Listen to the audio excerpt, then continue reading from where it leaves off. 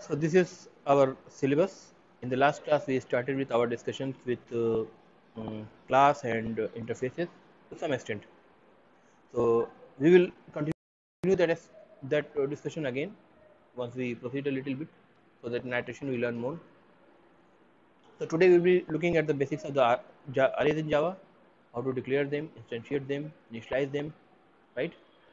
And uh, we will try to understand different other classes which makes sense while discussing arrays, how to work on arrays, and that will be useful in while you discuss, discuss other, other data structures as well.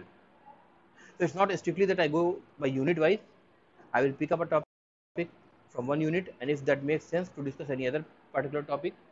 So for example, if I am discussing something a data structure which is part of any of these you know units, and we have a corresponding collection implementation in Java, then we will directly jump into that particular part and so that we proceed parallelly okay so let me just create a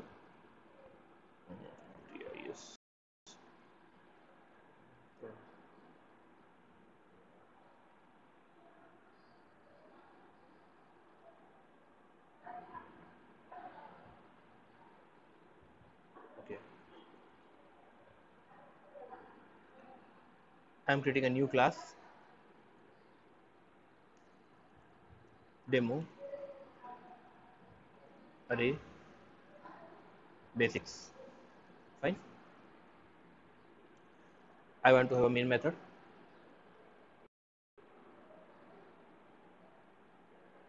Now what is an array? What is an array? We are talking about array right so what is an array collection of same type of data. Although I will deviate from the definition a little. In the sense that data may not necessarily be of the same time provided the language allows you. And there are pros as well as cons for this. Okay? So it's a contiguous set of data elements. Typically we say they are of the same time in nature. So, for example, if I say int x that means it's a simple bucket that is going to hold an integer element. So, int x is equal to I can say is equal to 5 so it, or 6 whatever it's going to hold just one element. But when I say int and I put this symbol this indicates the start of an array indication of an array and then say a is equal to I am initializing it 1 comma 2 comma 3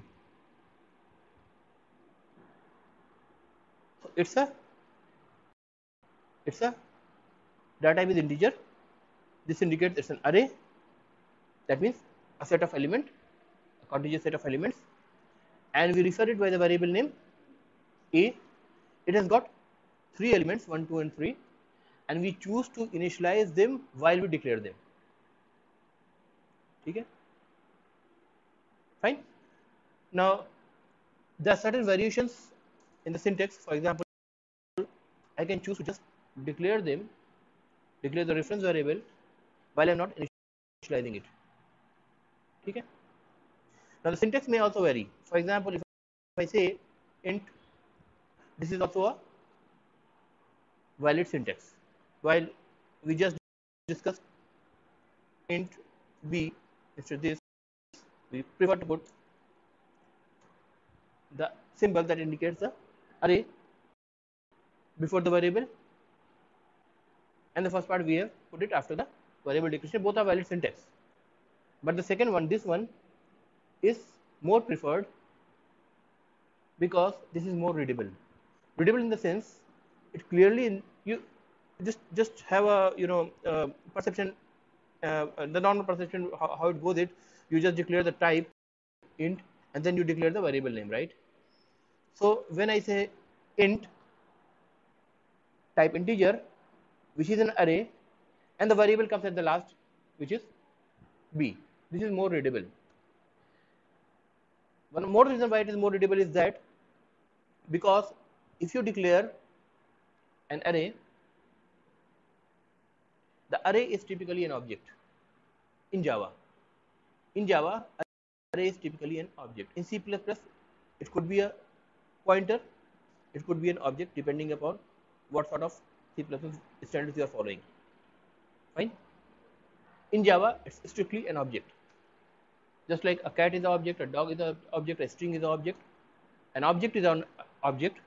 The same way, an array is an object. Okay. If I say this is a reference variable, say for dog D, I will say the dog D is a reference variable or an object of the type dog. Okay.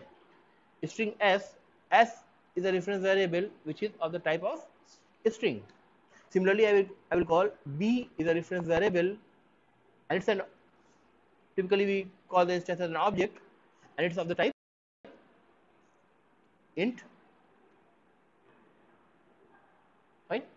इस type का है ये।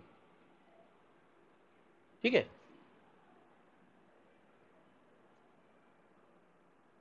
अगर अगर मैं कह रहा हूँ it's an object it's an array is an object it must be having a type it must be having a type so if dog has dog D D has a type dog so if I say int array B the type is this in normal terms I can say T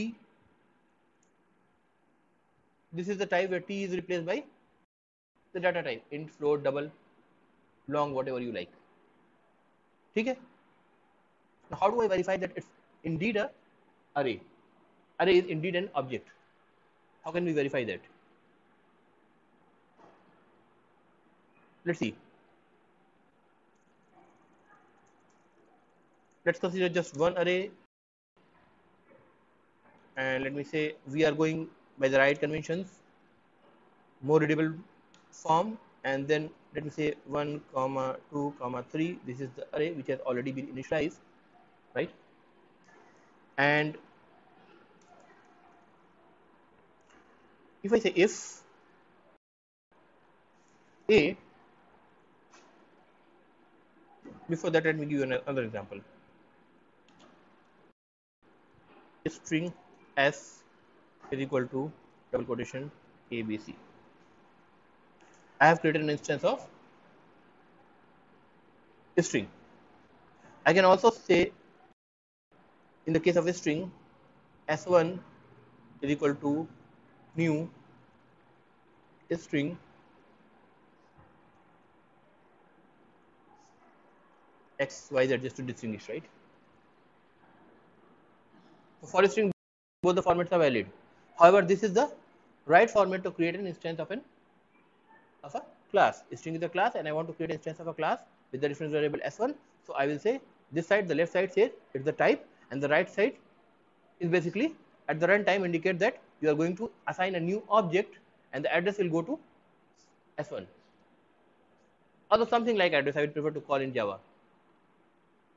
ठीक है ठीक है भाई however for a string we have got a shorthand not notation available that we can directly assign after the equal symbol. The same goes for the wrapper classes like integer, float, double. We will discuss them later on. Okay. So string के लिए आप देखें directly भी हम notation use कर सकते हैं, right? The right way is this one. Now, if I want to check whether s or s1 is actually of the type of a string, what we will do, we can use if s instance of this is an instance of operator defined in Java s and sorry string. And if this condition holds true let me print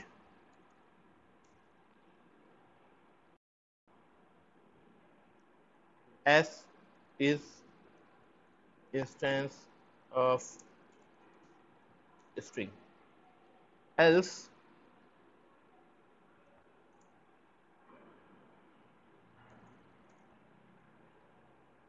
S is not an instance of string समझ में आ रही है? बहुत basic चल रहा हूँ मैं। Clear है ना? अगर मुझे टेस्ट करना है तो मैं इंस्टेंस ऑफ़ ऑपरेटर यूज़ करके मैं टेस्ट कर सकता हूँ। क्या वर्क करता है? वो चेक करता है कि जो उसके लेफ़्ट साइड में है, वो रेफरेंस वेरिएबल जिस ऑब्जेक्ट को पॉइंट कर रहा है, वो ऑब्जेक्ट इस क्लास का इंस्टेंस है कि नहीं है। ठीक है? अगर है तो ट्रू रिटर्न करेगा ट्रू रिटर्न करेगा, या भी ट्रू रिप्लेस हो जाएगी। अगर ट्रू है तो ये मैसेज प्रिंट होगा। अगर ये कंडीशन फॉल्स होती है तो एल्स वाले में जाएगा, फिर ये कंडीशन फॉल्स होगी प्रिंट होगी। आपको समझ में आ रही है बात? क्लियर है? ठीक है। Now let me run this and check quickly as is the instance of history so the same way, i can check this as well, right? So let me say a, which is whether it's an instance of what i said t and then brackets right so t is replaced by int and then let's change the message a is instance of int a is not instance of int ठीक है let's run and try to see is the instance of int now my question is because you are mtech batch so of course my discussion my question will be available of the btech batches if i am saying that array is an object it's not a primitive type although the elements are primitive type ठीक है इसका मतलब ये जो a reference variable है, ये object को hold कर रहा है, लेकिन जो ऑब्जेक्ट के अंदर जो एलिमेंट है, वो इंटीजर टाइप के वो प्रिमिटिव टाइप के ठीक है? Array is an object that holds elements of the primitive type और may be it may also hold the non primitive type as well the elements as non primitive type as well ठीक है? दोनों बातें condition हो सकती हैं। वो हम फिर आगे देख लेंगे, ठीक है? ठीक है? तो अभी क्या है कि क्या डिस्क्रीन चल रहा था हमारा? इंस्टेंस चेक किया हमने। क्वेश्चन है। Question is if this is an object if I am saying array is of the type T and the bracket it's of that type okay so if I want new functionalities in normal conditions what we do we extend the functionalities right ठीक है animal class है उसकी functionality को मैं specialise version पढ़ाना चाहता हूँ तो मैं डॉग को डॉग एक्सटेंड्स एनिमल करेगा राइट फाइन करेगा कि नहीं करेगा भाई बताओ समझ में आ रही है अनुराग नहीं आ रही है जावा। अच्छा। कोई बात नहीं। इनहेरिटेंस समझते हो जावा में? इनहेरिटेंस समझते हो? समझते हो ना? तो वही मैं कह रहा हूँ। अगर तुम इनहेरिटेंस समझते हो तो ये समझते हो कि एक पेरेंट क्लास होता है एक चाइल्ड क्लास होता है। चाइल्ड क्लास होता है उसको पेरेंट क्लास के सारे बिहेवियर मिलते हैं ठीक है? प्लस वो नए बिहेवियर और नए वेरिएबल दोनों स्टेट दोनों ही ऐड कर सकता है अपने जो कि उसकी स्पेशलाइज वर्जन है। पेरेंट जनरलाइज वर्जन है। इसीलिए हम पेरेंट को ऊपर ले जाते हैं। एनिमल मतलब सारे एनिमल डॉग कैट फ़िश कुछ भी एनिमल है ठीक है तो animal is is a generalized generalize version super type और parent type right dog cat and fish all these are specialize version और द सब टाइप ठीक है और the child right now they will they have the possibility that they extend the definition of animal whatever has been defined the animal to some more details they may add some more details which are specific to dog or to cat or to fish कर सकते हैं है ना तो अगर कोई एक class particular class है तो हम उसका सब क्लास बना सकते हैं we can say it extends the parent class we can define the new behaviour ये हम कर सकते हैं? इन जावा तो अगर मैं कह रहा हूँ कि array is an object it must be have a type and we are talking about the type is T and the bracket T is replace by the actual type right so if this is an array then I will say the type is this as you have just prove a the instance of this ठीक है? So can we can we derive another class out of this or can we make a sub class out of this try किया कभी है कभी आप ऐसा लिख सकते हैं class A B C extends this thing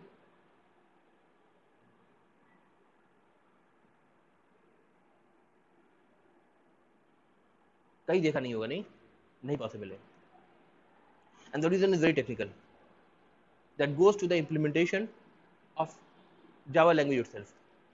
So they have divided the implementation in in uh, you know uh, different expressions.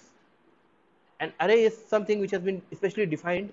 In that case, you cannot expect them to be treated as just a normal class and you can extend the definition. That is not possible. ठीक है आप इस question को search करो Google पे तो आपको जावा dock के अंदर वो सेक्शन मिल जाएगा जो बहुत डिटेल इसको डिस्कस करता है हालांकि that is very complicated to understand ठीक है? But this is not possible ठीक है? The coming back to the basic syntax ये सिंटेक्स आपने देख लिया राइट ये सिंटेक्स आपने देखा। ना if I choose not to initialize it here, can I initialize the element at the later stage? Can I do something like this?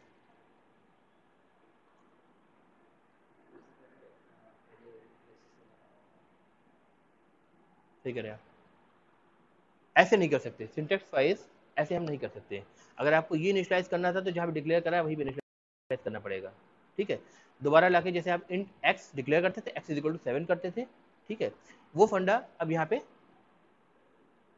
Change हो रहा है because it's an object again if you want to initialize it you have to say something like this new int it's a valid syntax just like you say string s and then you say s1 is equal to ठीक है काफ़ी similar लग रहा है ना similarity लग रही है ना although it's array there will in the syntax but that's very much similar because they kept the notation similar because they are claiming it's an object in fact they are object the object ठीक है ठीक है direct बात समझ में आ रही है आपको बात सिंटेक्स की बात कर रहा हूँ मैं सिंपल सिंटेक्स की बात कर रहा हूँ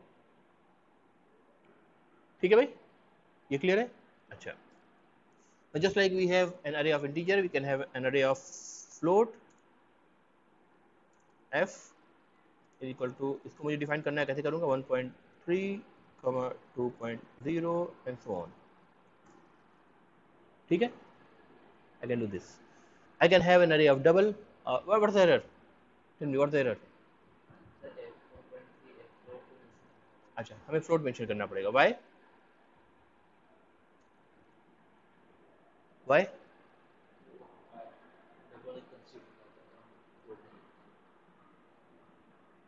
समझो अनुराग हमें यहाँ फ्लोट मेंशन करना पड़ेगा क्यों? ये कह रहे हैं कि बिकॉज़ जब तक हम ये जो 1.3 it's it's a constant value right it's a constant value that's going to one of the elements of array एक डिब्बे में जा रहा है right now by default a constant if it is in point in decimal it takes it, it becomes a double. It becomes a double which is of 8 byte. Float is of 4 byte. 4 byte means 32 bits. 8 byte means 64 bits. Now, by default a number which is a fraction or decimal that takes itself to be double as a default. So to indicate that it's not double and it's float, which must hold only 4 bytes because the array is of float, I must indicate a small f or a capital F. I must suffix it by small f or capital F. ठीक है तो default क्या हुआ आठ bite वाला double हुआ, अगर decimal है तो लेकिन इंटीजर के केस में और लॉन्ग के केस में जहाँ integer is a number without decimal long is again a number without decimal integer is a four bytes long is a byte the default is integer and not long तो condition reverse होती है। आ रही बात समझ में? तो ये ध्यान रखिएगा। ठीक है? अगर आप फ्लोट कहीं मेंशन कर रहे हैं किसी कांस्टेंट को तो स्पेशली अगर डाटा फ्लोट है तो आपको एफ़ लगाना पड़ेगा स्मॉल एफ़ और capital F to suffix to make it similarly अगर आप यहाँ पे अगर आप कह रहे हैं sorry double D is equal to 6 यहाँ पे आपको बिना लगाए काम इसलिए चल रहा है क्योंकि कंपेटेबिलिटी आ रही है। डेसिमल पॉइंट में कंपेटेबिलिटी का इशू आता है।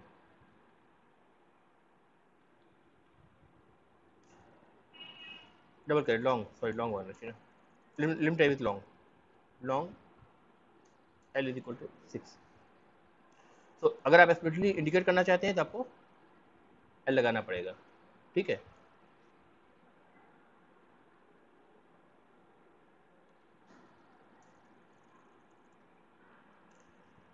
अच्छा जिस तरह से हम प्रिमिटिव टाइप के अरे बना सकते हैं, उसी तरह से हम नॉन प्रिमेटिव टाइप के या यूज़र डिफाइन टाइप के भी अरे बना सकते हैं।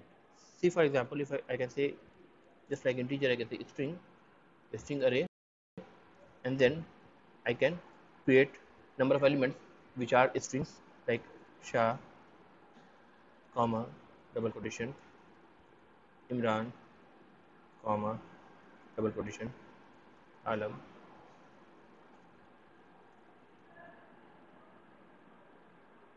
क्या मैं क्या बोला बोला हूँ मैं variable name right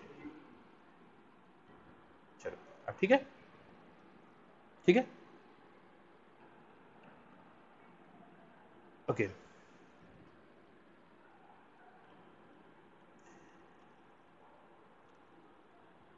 another way to declare the array is like for example I can say int it's an array a a b let me say ठीक है then I will say a b is equal to because it has to be array is an object I can use the new operator ठीक है I will have to mention the type int ठीक है and then I will need to do what mention the size ठीक है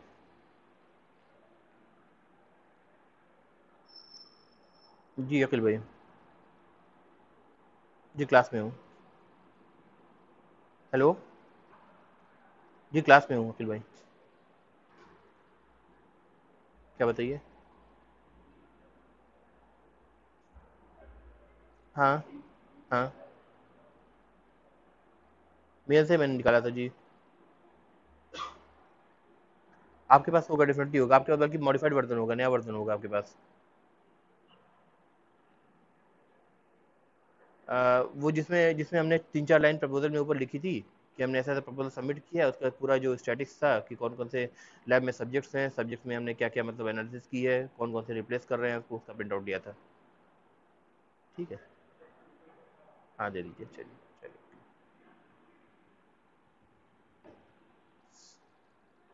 ठीक है भाई?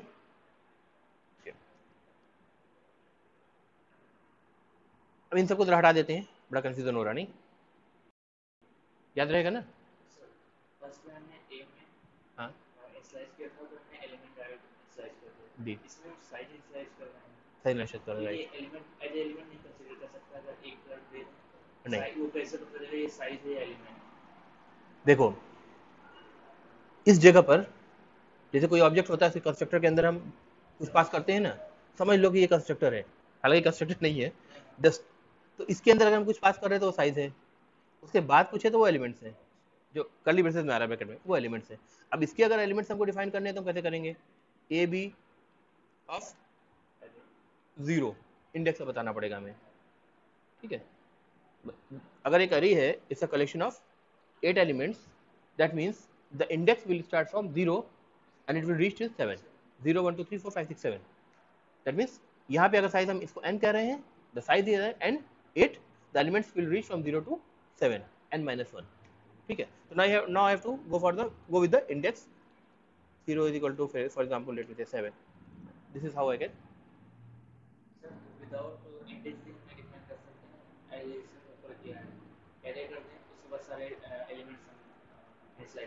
देखो, अगर तुम ऐसा करते हो, अगर ऐसा आप करते हो तो अब तुम्हें दोबारा क्या करना पड़ेगा? A B is equal to new you have to go with the same format right ये करना पड़ेगा तुम्हें। लेकिन इससे क्या मतलब हुआ इसका? है?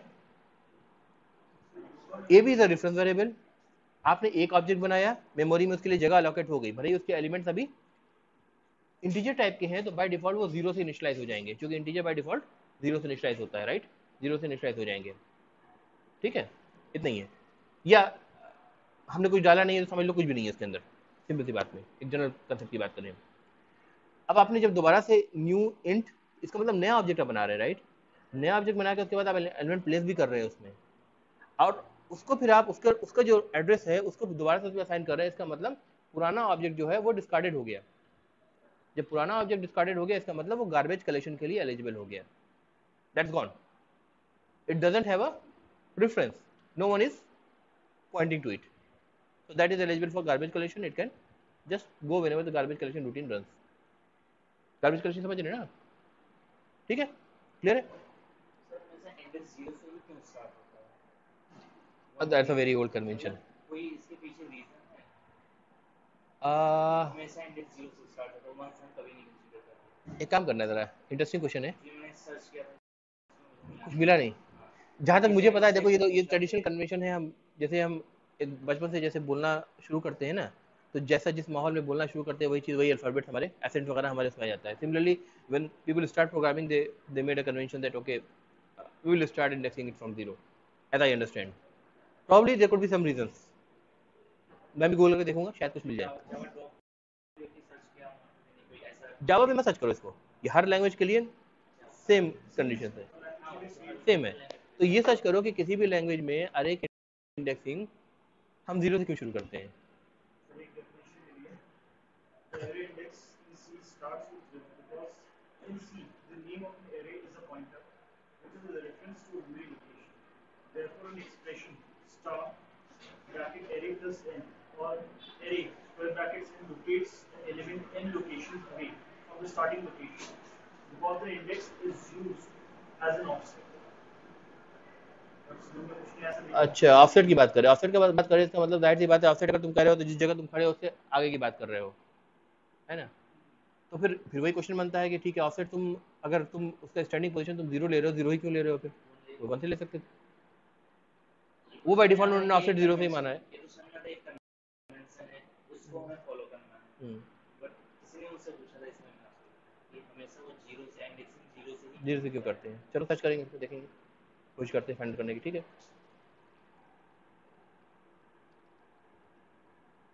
हो सकता है कुछ हिस्टोरिकल रीजन इसके पीछे हो। ठीक है?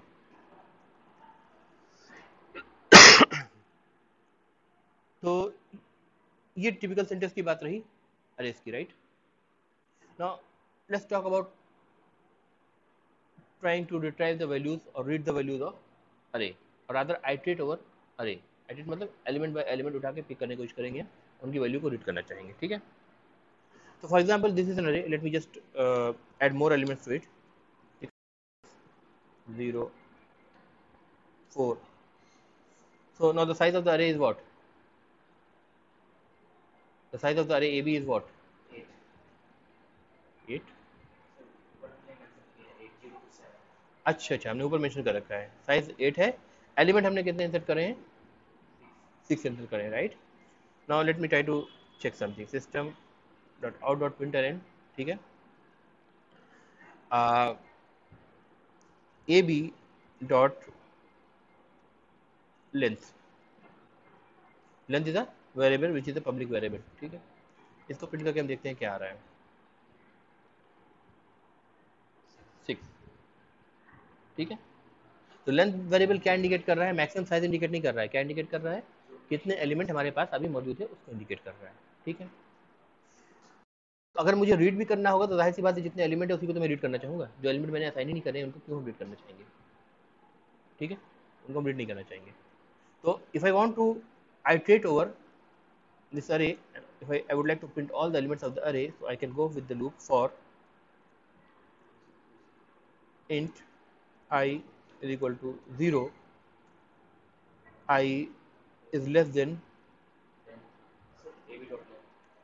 ab dot length i plus plus जो बेसिक हर लैंग्वेज में आप सीखते हैं कुछ नया नहीं सिखा रहा हूँ मैं ठीक है system dot out dot println now I need to print the element. So I will say AB of I. Let me add backslash T tab.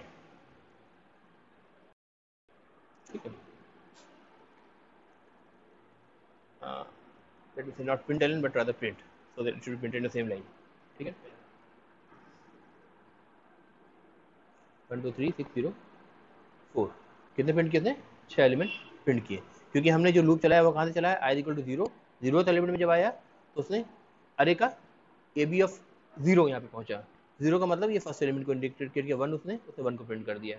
फिर दोबारा लूप में हमारे आई इक्वल टू वन हो गया तो ए बी ऑफ़ वन हो गया which is the element two and so on we proceeded till the A B dot length A B dot length क्या थी? सिक्स सी इससे कम यानी फाइव क्योंकि ज़ीरो से शुरू हुए हैं। तो इंडेक्स क्या होगा? ए ऑफ़ फाइव पर लास्ट जाकर के हम रुक जाएँगे और लास्ट एलिमेंट वहाँ पे फोर वहाँ पर प्रिंट हो जाएगा राइट ठीक है? ये तो बहुत बेसिक चीज़ें हैं ना। सी भी जो जानते हैं वो भी बता पाएँगे। समझ में आ रहा है ना आपको? ठीक है। Now, I have a rather a little smarter way of doing the same thing in in Java. I can say for int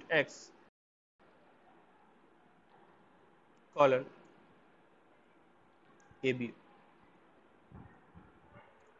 then println x plus double quotation. यहाँ से न्यू लाइन में चला जाएगा ना? हमने चाहते ना कि हर लूप के बाद एक एक एलिमेंट जब लूप करे न्यू लाइन में जाए। ठीक है? उसी लाइन में जाकर के टैब दे दिया हमने, ताकि टैब स्पेस दे करके प्रिंट कर ले राइट इसलिए हमने न्यू लाइन हटा दिया था वहाँ से। ठीक है? यहाँ से बैठा देते हैं, चलो। ठीक है?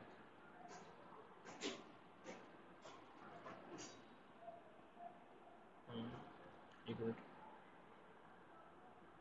अच्छा न्यू लाइन हमने नहीं किया था ना एक बार? इसको एक बार क्या करते हैं यहाँ पे? फॉर द फ़र्स्ट टाइम इसे system dot out dot println println एक बार और बैकस्लैश दो लग जाएगा backslash N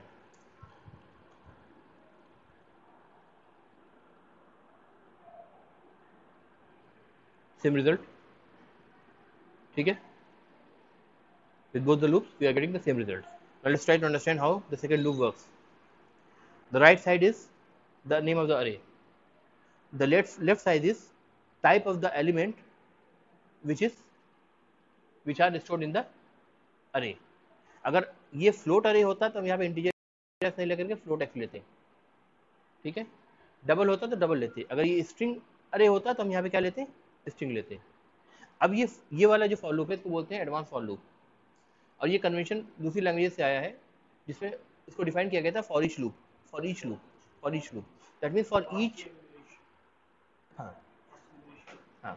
Is for that means for each element that is in the array or in any other collections सारे collections के लिए valid है just pick up that element and put on the variable that is defined on the left side और फिर उसी variable की value को हम use कर रहे हैं चाहे print करने में या कुछ और करने में ये आपको समझ में आ गया समझ में आ रहा है लारे या नहीं बताओ नहीं आ रहा बोलो नहीं आ रहा ठीक है मुझे पता नहीं चलेगा क्योंकि ज़ाहिर सी बात तुम्हारा बैकग्राउंड थोड़ा डिफरेंट है ठीक है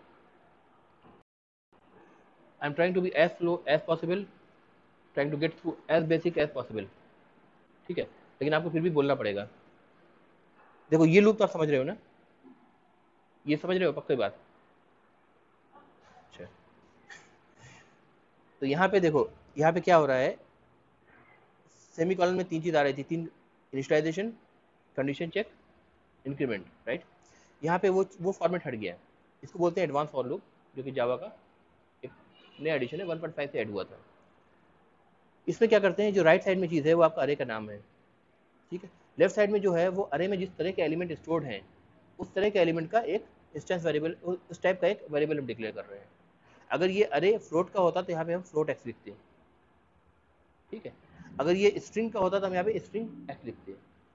अब जब इसको हम चला रहे हैं तो इसका मतलब ये है कि for each of the element that is stored in this array one by one just pick those elements and keep storing in this variable which is of the same type of the type of the element and then in this curly braces which is the body of the for loop I can use this x element to do whatever I like for example here I am printing the value समझ में आ गई बात simple सी बात है ठीक है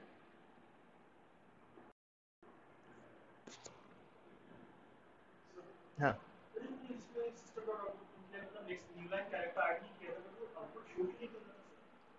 वो show कर रहा था वो एक्चुअली बहुत दूर शो कर रहा था आगे शो कर था मैंने स्क्रॉल नहीं किया मैं समझ गया तो मैंने डायरेक्टली स्क्रॉल नहीं किया मैं डायरेक्टली मैंने यहाँ पे करके दिखा दिया ठीक है ठीक है भाई क्या तो क्लियर है सारी चीज़ now the way we have got an array defined as a single dimension array this is a single dimension array this is a single dimension array मतलब एक dimension ठीक है now suppose for example we want to use uh, we want to store the elements which are is a matrix which is a matrix in fact ठीक है now matrix is something which is a two dimension matrix समझते हैं matrix is a two dimensional thing and this is very much used in data structures and algorithm okay now for that case i need to have a two dimensional array say for example if i'm talking about the int array so i will declare the int array like this int one dimension second dimension okay the variable name is, say for example, two dimension array, this is the name ठीक है? अगर मैं इसको अभी declare करना चाहता हूँ, जैसे कि मैंने पहले किया था, हाथ के हाथ, ठीक है? यहीं पे यहीं पे इक्वल टू करके डिफाइन कर रखा था, अगर वैसे मैं करना चाहूँ तो मैं इसको इस तरह डिफाइन करूँगा। एक curly braces for first dimension second curly braces for the second dimension one comma two comma three ठीक है? थोड़ा सा मैं प्रेजेंटेबल इसलिए बना रहा हूँ ताकि समझना आसान हो कि टू डायमेंशन कैसे हो रहा है actually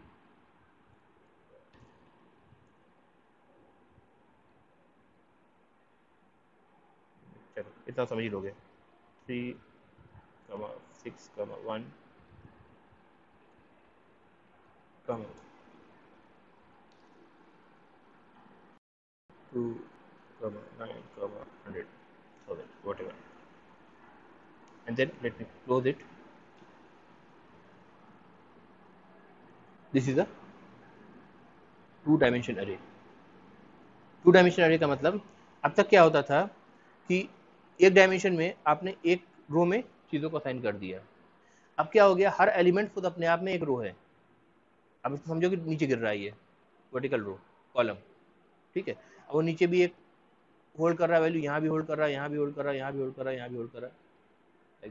Right sir it's typical look like a matrix right however is no restriction that the number of elements in each of the row are same because her row जो है वो अपने आप में एक रेफरेंस वेरिएबल है that itself an object and because unless we specify the maximum number of size we are not restricted to have the same size while we initialize for the first time.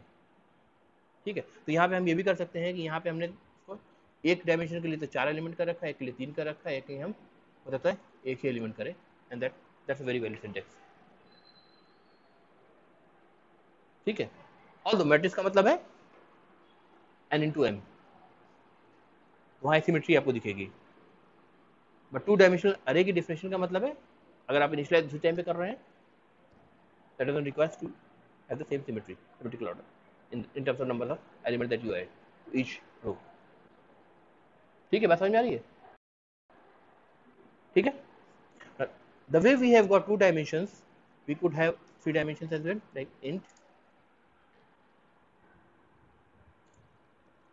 three dimension array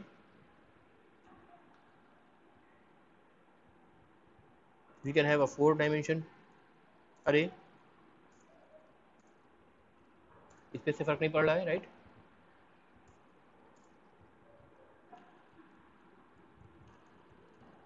array but you keep on increasing the dimension the complexity become exponentially you know high to manage thing ठीक है? तो practically आप उनको इतने high dimension के अरे को आप यूज़ करना आपके लिए खुद डिफ़िकल्ट होगा। ठीक है?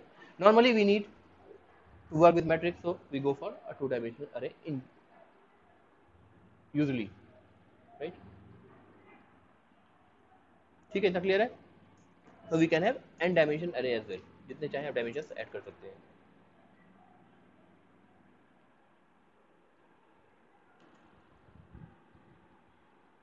क्या आ रही है भाई?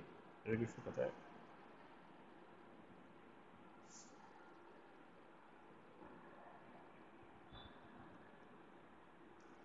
अच्छा इन सबको मैं हटा ही देता हूँ। क्लियर करता हूँ। ये लेक्चर और नेक्स्ट लेक्चर दोनों ही आपका सिर्फ़ अरे पे डिस्कस होगा। ठीक है?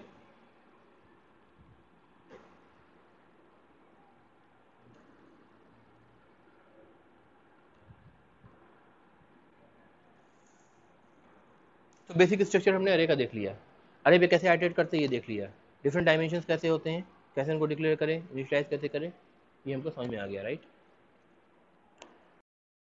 now we will see certain utilities that could be used for arrays अच्छा आपको जो मैंने असाइनमेंट काम आपको दिया है ना, वो काम आप अरेज को यूज़ करके आप शुरू करिए, ठीक है? Later on will move on to collections उसमें हम देखेंगे चीज़ कैसे मॉडिफाई होती है, क्या डिफरेंसेस आते हैं उसके अंदर, ठीक है? थोड़ा थोड़ा प्रॉब्लम अब इनको भी समझाना शुरू करिए। ठीक है लारे you just try to get you know deal with ठीक है? तो मुझे पता है कि आपका अभी नॉलेज बेस जावा बहुत कमज़ोर है, लेकिन just try to you know understand as much as you can ठीक है?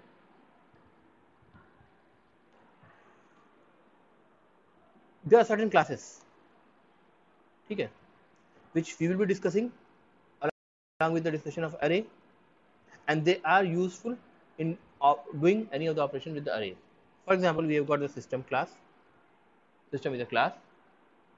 जिसको हम यूज़ करते हैं आउट वेरिएबल के लिए इन वेरिएबल के लिए, जिसके अंदर स्टैटिक वेरिएबल डिफाइंड है प्रिंट करने के लिए वैल्यूज़ को. Then we have got array class capital A ठीक है? कहीं हो सकता है हम कलेक्शंस क्लास को भी यूज़ करें कुछ काम के लिए. तो ये थ्रू आउट डिस्कशन इस सेशन के थ्रू आउट डिस्कशन में इन क्लासेस का यूज़ होता रहेगा. ठीक है?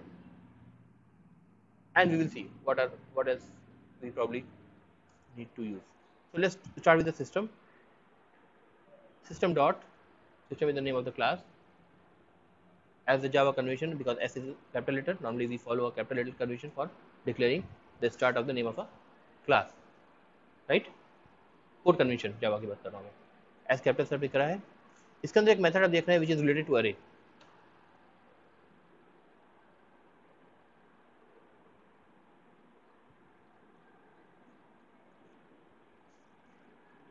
क्या कह रही है? ये मेथड यहाँ पे इसकी हेल्प यहाँ बता रहा है, ये क्या करता है? Copies an array from the specified source array that means this is the source array and this is the destination array इनका टाइप क्या है?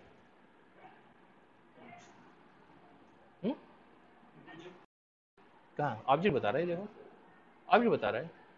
आप यहाँ पे इंट अरे टाइप का भी ले सकते हो स्ट्रिंग टाइप का भी ले सकते हो डॉग कैट भी ले सकते हो। Object is the super type of type ठीक है? तो ऑब्जेक्ट से आप सबको रिफर कर सकते हो। कर सकते हो ना? एनिमल के animal A is equal to new dog कर सकते हो आप। Animal A is equal to new cat भी कर सकते हो। मतलब हर पेरेंट टाइप से चाइल्ड टाइप को रिफर कर सकते हो। so the object class itself is the parent class of every class that is why it is called as universal universal super class ठीक है? आप चाहे डिक्लेयर करो एक्सटेंस लगा के, चाहे ना करो। डजेंट मैटर ठीक है तो ये क्या कर रहा है ऑब्जेक्ट को ले रहा है ठीक है तो says copy the name from the specified source array beginning at the specified position to the specified position of the destination array ठीक है A subsequence of array components are copied from the source array referred by the SRC to the destination array referred by the DST. SRC से destination में copy करता है यानी इन दो position पे आपको फ़र्स्ट और थर्ड पोजिशन पे आपको क्या पास करना पड़ेगा? अरे, दोनों सोर्स एंड डेस्टिनेशन अरे एक जहाँ से कॉपी करना चाहते हैं, वो सोर्स हो गया। जहाँ पे कॉपी करना चाहते हैं, वो डेस्टिनेशन हो गया right the number of components copied is equal to the length of the argument क्या बताओ इसका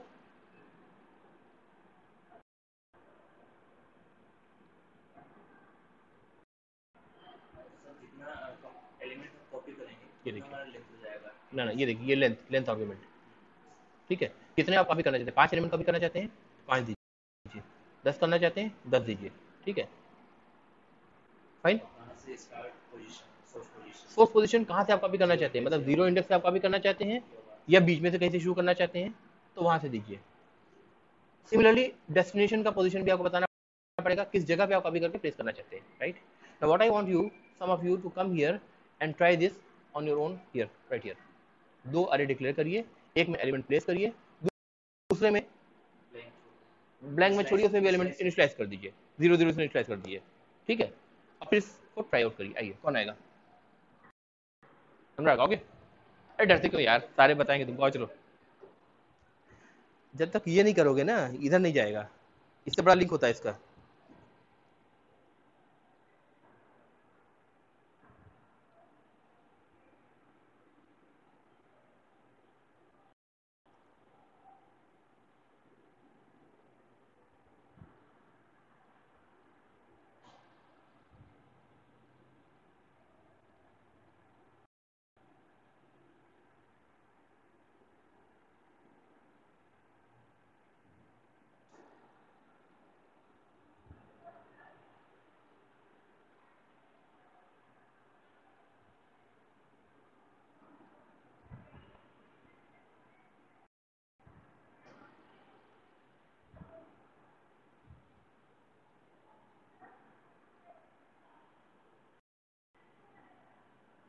Now you can see the size of the two arrays is also different, right?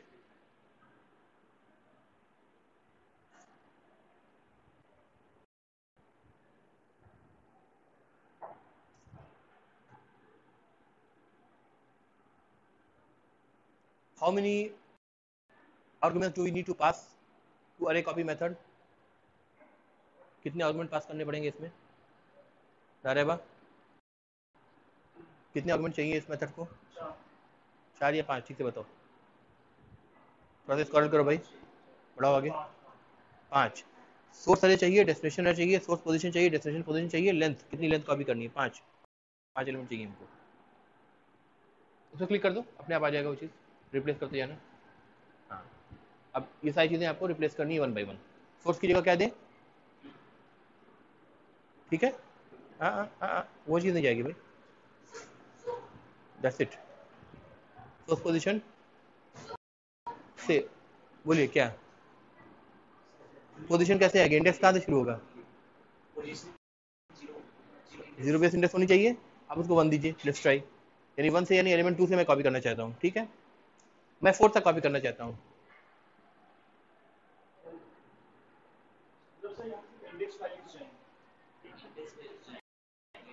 Index value जाएँगी। Index value जाएगी। तो zero से शुरू होगा ना इंडेक्स वन दे रहे तो इंडेक्स वन दो मैं कह रहा हूँ दो से चार मुझे चाहिए। एलिमेंट दो तीन चार मुझे चाहिए कॉपी करना है। हाँ। इंडेक्स वन तो आपका ठीक है। आप बताओ।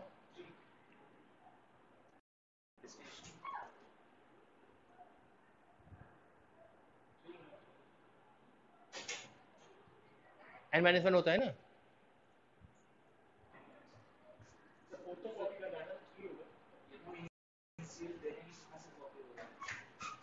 देखो।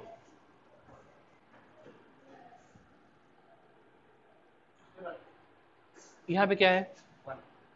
One is means source index जहाँ से आप कॉपी करना चाह रहे हैं। इसका मतलब इस एलिमेंट से टू से कॉपी करना शुरू करेगा राइट अब मैं कहाँ तक चाहता हूँ? फोर तक चाहता हूँ। This is one this is two this is three ठीक है? ट्राई करते हैं। अगर गलत होगा तो अपने फाइन में रहेगा। एक बार देखिए देखिए नहीं बस थ्री दीजिए हाँ बस थ्री ठीक है? डेस्टिनेशन पोजीशन कहाँ से आप कॉपी करना स्टार्ट करना चाहते हैं? मैं चाहता हूँ कि ये इस पोजीशन से मैं स्टार्ट करूँ। ये दोनों छोड़ दूँ। टू ठीक है? लेंथ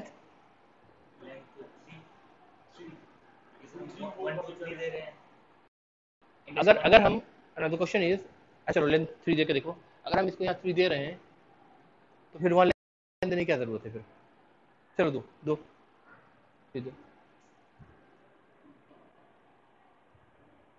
ठीक है? नहीं भाई कुछ गड़बड़ है। डेस्टिनेशन वो डेस्टिनेशन वो था ना यार। अरे का नाम था ना गड़बड़ कर दिया आपने। कंट्रोल जेड करो कंट्रोल जेड करो।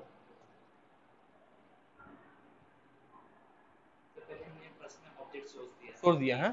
ठीक है हाँ। सोर्स पोजीशन दिया वन दिया ठीक है? ऑब्जेक्ट देना चाहिए था ना? हाँ वो वहाँ पे क्या जाएगा? बी जाएगा ना? थर्ड पोजीशन पे। देखो। हाँ यहाँ बी जाएगा राइट अब उसके बाद क्या था? तो ठीक है, अब सही है। ठीक है। हाँ। ठीक चलो सही अब सही है।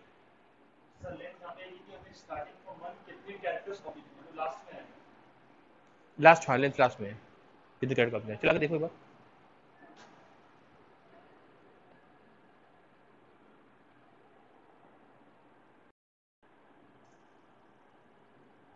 अब हम बी को प्रिंट करना चाहते हैं तो कैसे प्रिंट करेंगे? ऐसे प्रिंट करेंगे क्या? रन करके देखो क्या आ रहा है।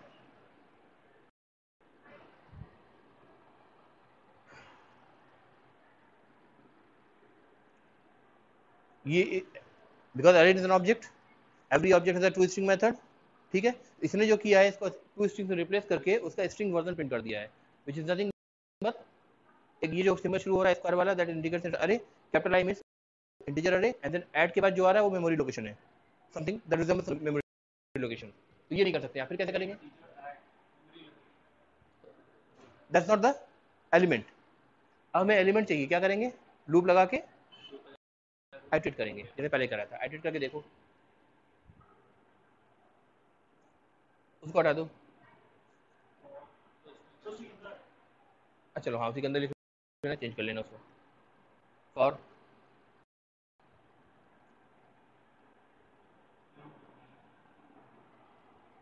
int advance for loop अगर लगा रहे हो तो वट एवर यू प्रिफर चलो, ठीक है। चलो कॉलन बी यहाँ पे?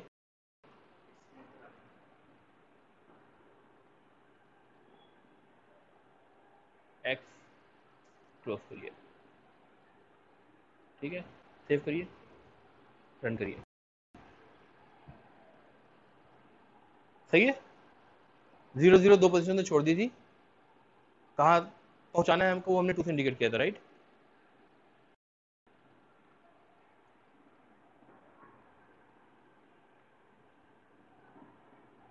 ठीक है? अच्छा अब मान लो वापस जाओ। सर अगर हम यहाँ पे अभी ये ज़ीरो पोजीशन से इंडेक्स ज़ीरो से लूप चला रहा है। हम्म। हम चाहें तो सेकंड पोजीशन पे सेकंड पोजीशन पे हमने डेस्टिनेशन दिया हम्म। लूप सेकंड से चलाएँ तो ये ज़ीरो दो गायब हो जाएगा ज़ीरो एंड वन हाँ तब उसको नॉर्मल लूप में चलना पड़ेगा। इक्वल टू टू से शुरू करो। ज़ीरो वन टू हाँ। तो इसमें नहीं कर सकते क्या? कि फ़र्स्ट से स्टार्ट नहीं एडवांस फॉलो में नहीं करना और इसमें है कि ये ये ये जिस डिफाइंड है उसी तरह से करना है मतलब it will over all the elements of the collection इसको टू कर देंगे आप.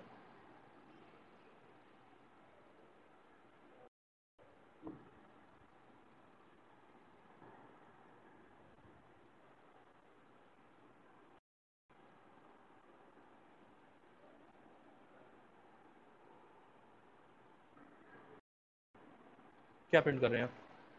अच्छा। तो क्या प्रिंट करेंगे?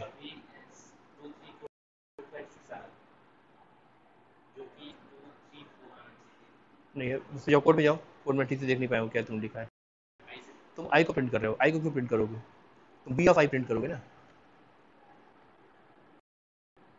तो आई प्रिंट हो रहा है।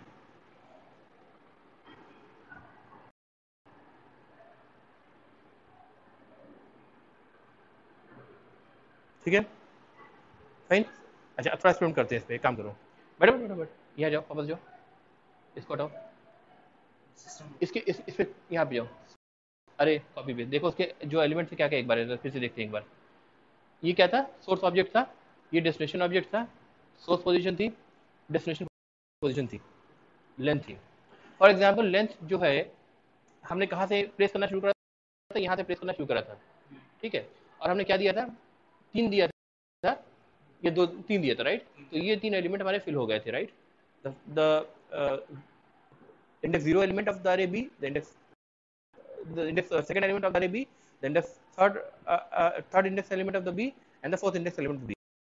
इधर भी ज़ीरो था उधर भी दो दो ज़ीरो था राइट अगर इसकी लेंथ को हम कुछ ऐसा मैनिपुलेट करें जो आउट ऑफ़ द रेंज जाए तब क्या होगा मतलब for example seven the length if you keep this length seven ना तो ए में सेवन है एलिमेंट्स है ना तो बी में है तो देखो क्या होता है। सेवन करके देखो। आ रही बात समझ भाई? मैं सेवन्थ एलिमेंट कॉपी करना चाहता हूँ, ना तो ए में सेवन्थ एलिमेंट है, ना तो बीच में। सेकंड पोजीशन से सेवन्थ एलिमेंट की जाने की जगह है।